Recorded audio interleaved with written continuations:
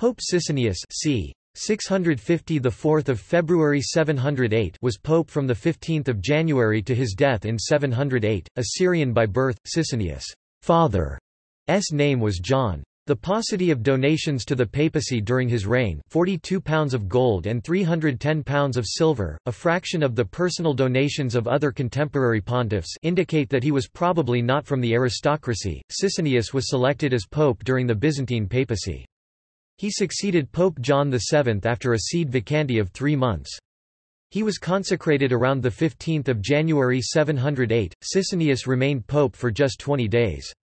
According to the Catholic Encyclopedia, Although he was so afflicted with gout that he was unable even to feed himself, he is nevertheless said to have been a man of strong character, and to have been able to take thought for the good of the city."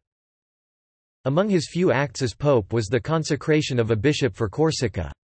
He also ordered, "...that lime be burned in order to restore portions," of the walls of Rome. The restoration of the walls planned by Sisinnius was carried out by Pope Gregory II. Sisinnius was buried in Old St. Peter's Basilica.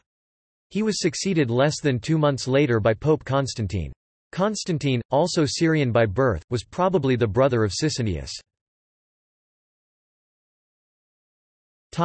See also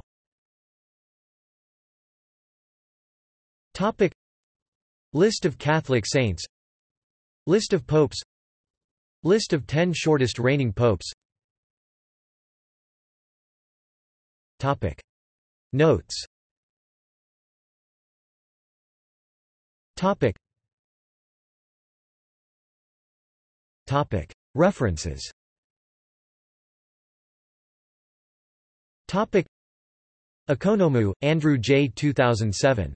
Byzantine Rome and the Greek popes, Eastern influences on Rome and the papacy from Gregory the Great to Zacharias, AD 590–752.